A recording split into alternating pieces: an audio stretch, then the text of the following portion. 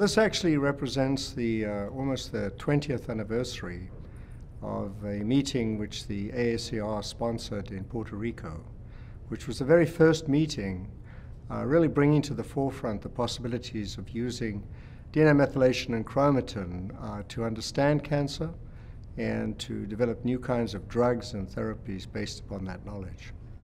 Well, the AACR special conferences have a real special place uh, in sort of the conference agenda because they're pretty small, you know, maybe a couple of hundred people, with a very a, a, a tremendous focus on a particular area. Uh, and uh, in this particular case, once again, we have a strong translational um, output. In other words, we want to try and take what we've, what we've discovered in the lab and actually use it in patients. And there are two major things we'll be looking at at this conference. Firstly, can we restore sensitivity of tumors to standard therapies? So many patients, for example, with ovarian cancer, develop resistance to the therapies which are used to, to treat them. Uh, these are chemical uh, chemotherapies.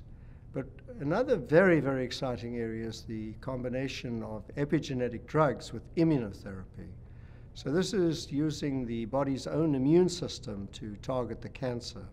And what we're seeing in many different kinds of studies is that if we use immuno, uh, immunotherapy together with epigenetic therapy, we can really increase the uh, efficacy and the outcome for patients. So we'll be looking at that in great detail at the meeting. Well, what's exciting me is the final realization after 20 years that epigenetics has moved to the center stage of uh, our understanding of cancer, our treatment of cancer, and our detection of cancer. It's taken a long time, but it's now front and center, and it'll be very important for us to get together and see how we can make the most of what we already know.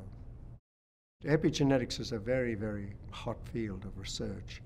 And so for young investigators, it gives them the opportunity to uh, use the very latest uh, laboratory-based techniques, uh, wet lab stuff, uh, but also using high-powered uh, informatics to try and look at the, the totality of what's going on in cancer cells at the level of the epigenome.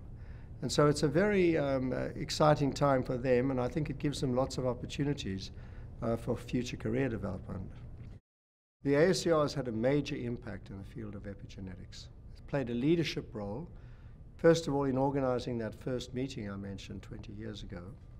The AACR was an early supporter of the Human Epigenome Project. This is an international project which the AACR helped um, stimulate to map a whole bunch of uh, cancer and normal epigenomes, which had never been done before.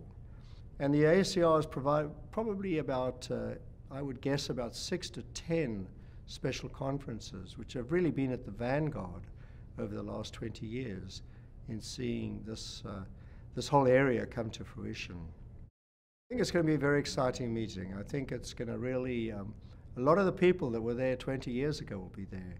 But probably more important, there'll be a whole a lot of new people uh, you know, the next generation of epigenetic scientists. And I think the sort of balance between the two is what's going to make this a very exciting meeting.